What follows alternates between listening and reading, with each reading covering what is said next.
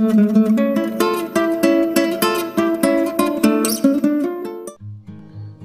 Guys तो friends आज की वीडियो में हम बात करने वाले हैं कि कैसे हम अपने बगनबिलिया के प्लांट पर ढेर सारे फ्लावर्स पा सकते हैं। तो फ्रेंड्स जैसे कि आप देख सकते हैं कि मैंने इस कटिंग को एक छोटे से पॉली बैग में लगाया था। तो फ्रेंड्स ये लगभग मेरा दो साल का कटिंग है। और फ्रेंड्स आप इस पर देख सकते हैं कि दो साल में कितने सारे ब्रांचेज और ढेर सारे फ्लावर्स इस पर लगे हुए हैं। तो फ्रेंड्स आज मैं आपको बहुत सिंपल टिप्स देने वाला हूँ। जिससे आप भी अपने बोगनबिलिया में कम मेहनत में ज़्यादा सारे फूल पा सकते हैं। तो फ्रेंड्स, अगर वीडियो पर नए हैं तो वीडियो को लाइक करें, चैनल को सब्सक्राइब करके साथ ही साथ बेलाइकन को प्रेस कर दें। तो फ्रेंड्स, चलिए वीडियो शुरू करते हैं। गाइस बोगनविलिया हमारा ऐसा प्लांट है जिसमें हम काफ़ी कम मेहनत में भी ज़्यादा फूल पा सकते हैं और अपने, हम अपने गार्डन की सुंदरता को काफ़ी बढ़ा सकते हैं इस प्लांट को लगा के। तो फ्रेंड्स ये काफ़ी लो मेंटेनेंस प्लांट है जिसमें कोई पेड्स भी नहीं अटैक करता है। तो फ्रेंड्स जो आपको मैं पहला टिप्स बताना चाहूँगा बोगनविलिया के लिए, वो है कि आप इसमें टाइम टू टाइम ट्रिमिंग करें। तो फ्रेंड्स इसका ट्रिमिंग करने का बेस्ट सीज़न है फरवरी के पहले और अभी जो विंटर चल रहा है, इस टाइम में भी आप इसका प्रूनिंग कर सकते हैं, जिसमें आपको काफ़ी ढेर सारे नए ब्रांचेस देखने को मिलेंगे और साथ साथ नए ब्रांचेस के साथ में आपको फ्रेंड्स ढेर सारे फ्लावर्स भी देखने को मिलेंगे। क्योंकि फ्रेंड्स अगर हमारे प्लांट्स में ढेर सारे ब्रांचेस नहीं होंगे तो इसमें फ्लावर्स भी ढेर सारे नहीं होंगे। तो फ्रेंड्स ट्रिमिंग बहुत ज़रूरी है, जो पहला टिप्स आपका आपको ट्रिमिंग हर ईयर करना है आपको। इसमें हल्की लाइट प्रूनिंग करनी है आपको, जिससे कि आपका बोगन और भी बूसी होता जाए और जिससे इसमें काफ़ी ढेर सारे फ्लावर्स आपको देखने को मिलेंगे। तो फ्रेंड्स ये टिप्स ज़रूर ट्राई करिएगा, आपको काफ़ी हेल्प मिलेगी।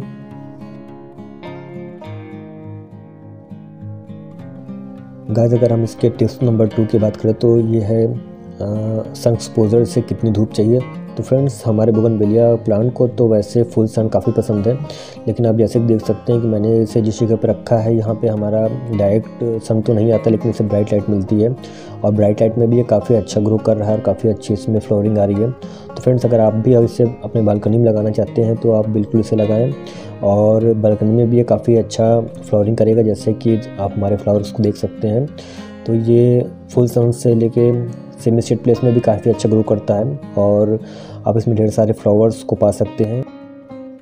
टिप्स नंबर थ्री वाटरिंग तो फ्रेंड्स अगर आप भी अपने बिलिया प्लांट में वाटरिंग करना चाहते हैं तो मैं इसके लिए आपको बहुत ही सिंपल मेथड बताने वाला हूँ। तो फ्रेंड्स आपको अपने बिलिया के प्लांट में बहुत ही ज़्यादा ओवर वाटरिंग नहीं करना है, हमेशा वाटरिंग नहीं करना है। तो फ्रेंड्स मैं अपने प्लांट्स में तभी वाटरिंग करता हूँ जब मुझे इसके लिप्स थोड़े झुके हुए या मुरझाए हुए महसूस होते हैं। तो फ्रेंड्स मैं इसमें फुल वाटरिंग करता हूँ और उसके बाद मैं फ्रेंड्स इसमें तब तक वाटर नहीं देता हूँ जब तक मुझे फिर से इसके लिप्स कुछ मुरझाए हुए या झुके हुए फील ना होने लगे। तो फ्रेंड्स आपको इसमें बार बार वाटरिंग नहीं करना है और फ्रेंड्स ऐसा करने से आपको ये देखने को मिलेगा कि आपके प्लांट्स में बहुत अच्छा फ्लॉरिंग होना शुरू हो जाएगा और काफ़ी अच्छा फ्लोरिंग होगा इसमें। तो फ्रेंड्स ये बहुत ही एक सेक्रेट ट्रिक है जिससे आप अभी आप ट्राई करके अपने बोगनविलिया के प्लांट में ढेर सारे फ्लावरिंग को पा सकते हैं। तो फ्रेंड्स ये टिप्स ज़रूर ट्राई करें, आपको काफ़ी हेल्प मिलेगा। टिप्स नंबर फोर फर्टिलाइज़र तो फ्रेंड्स हमारा बोगनविलिया ऐसा प्लांट है जिसमें आप आपको बहुत ज़्यादा फर्टिलाइज़र देने की ज़रूरत नहीं होगी। और जैसे फ्रेंड्स देख सकते हैं कि मेरे फ्लावर्स कितने ब्राइट कलर में हैं जबकि मैं इसमें बहुत फर्टिलाइज़र नहीं करता हूँ। फ्रेंड्स अगर आप चाहें तो अपने बगल बिल्ली के प्लांट में आ, कुछ ऑर्गेनिक फर्टिलाइज़र जैसे वर्मी कंपोस्ट यूज़ कर सकते हैं जो कि इनफ इस प्लांट के लिए। इस प्लांट में आपको एन या बहुत हाई मात्रा में नाइट्रोजन देने की ज़रूरत नहीं है। तो गाइस हम ये कह सकते हैं कि जो हमारे नए लोग हैं, जिनका भी नया इंटरेस्ट है प्लांट्स लगाने में उनको प्लांट्स के बारे में ज़्यादा एक्सपीरियंस नहीं है तो बोगनविलिया के प्लांट को ज़रूर लगाएँ, क्योंकि ऐसा प्लांट है जिसमें काफ़ी कम मेंटेनेंस में भी आप काफ़ी अच्छा इसमें फ्लावरिंग कर सकते हैं फ्रेंड्स और इस प्लांट्स की काफ़ी कम रिक्वायरमेंट है दूसरे प्लांट्स की अपेक्षा में। तो आप इस प्लांट्स को ज़रूर लगाएँ, और आपको काफ़ी अच्छा लगेगा इस प्लांट्स लगाने के बाद, और काफ़ी कुछ सीखने को मिलेगा। और फ्रेंड्स आपको अगर अभी तक मेरा वीडियो पसंद आया तो वीडियो को लाइक ज़रूर करें क्योंकि मोटिवेट करता है हमें और आगे की वीडियो बनाने के लिए।